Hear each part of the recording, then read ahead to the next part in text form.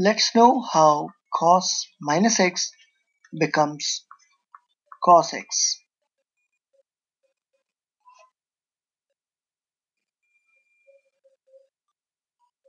We will make a Cartesian coordinate system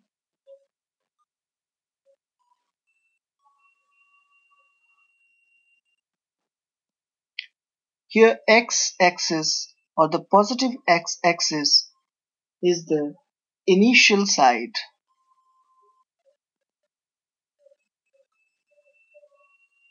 and we have drawn a line from O to B is called the terminal side.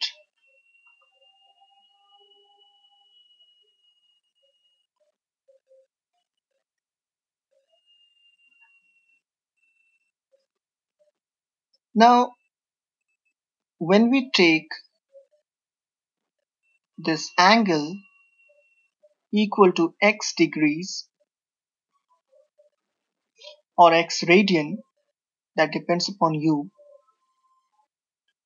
we will get a triangle OAB right angled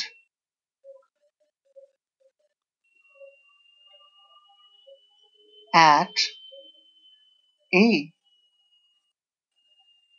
And theta is equal to x. Now the terminal side is towards the anti-clock direction from x axis. So we get positive value of theta or positive of the measure of angle so this is anti-clockwise direction.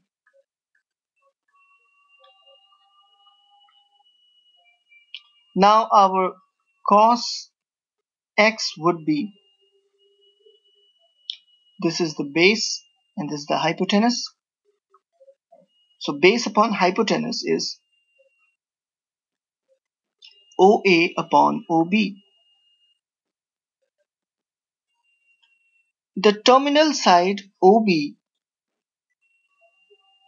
is the length of hypotenuse or the length of the terminal side is every time positive.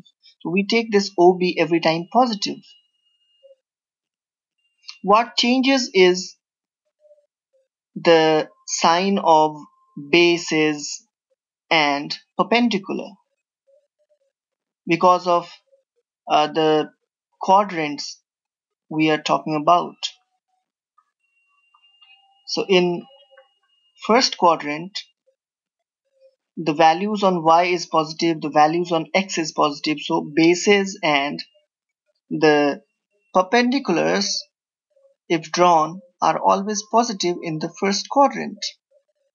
And when we talk about OB, OB is every time positive. So here, OA is in the first quadrant, the value of x, which is positive and OB is every time positive. So we'll get a positive value. Now keep in mind that we are talking about the first quadrant system. When we go to the second quadrant or the third quadrant we'll get some other value. Now let's talk about cos minus x. When we talk about cos minus x we should keep in mind that we are going in the clockwise direction. And in going clockwise direction we get negative measure of angle which is minus x. The measure of angle is negative. So this is how what we got.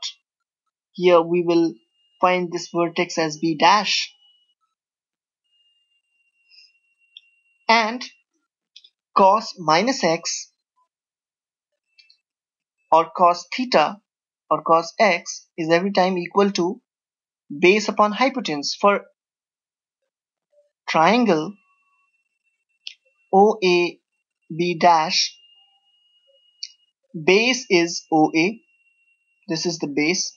The base remains the same.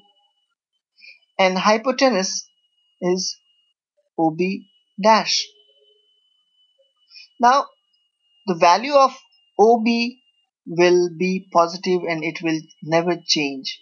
So we will get OA upon OB without any change in the uh, sign of OB.